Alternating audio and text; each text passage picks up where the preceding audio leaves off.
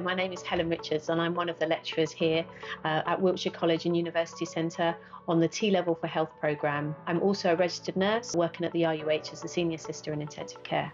This course is suitable for anyone aged 16 to 19 who's looking to work in health and social care, which, in my opinion, is one of the most rewarding careers you can take. Within the course, we cover core principles of working within the health and social care environment, uh, look at good practice, look at person centred care. We also cover infection control, uh, and also there's a big science component looking at anatomy and physiology um, and related diseases, which really help the students to understand what it's like to be ill and unwell and what we do to treat people. We're really lucky here that we have got an amazing facility which has been built specifically for the T level students.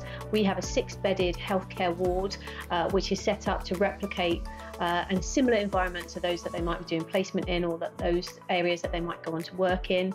Um, so we have state of the art beds that we can use, uh, hoists, mannequins, uh, lots of different types of equipment that help equip the students uh, with knowledge and skills that hopefully will help them in the workplace. Industry placements are a big part of the T level, so students are required to complete 315 hours across the two years. The students are about to start their first placement, uh, which is placements been arranged by the council, so they are uh, mostly going into council run daycare centres. And then the second placement, we're hoping that will be more healthcare based, um, and we're liaising with the RUH about uh, placing some other students in hospitals. The T levels are designed to be equivalent of three A levels, so uh, they will be allocated UCAS points, um, and hopefully students will be offered uh, places at universities on different degree courses, uh, which will enable them to go on to further study um, as a nurse or midwife um, or a, a role in healthcare.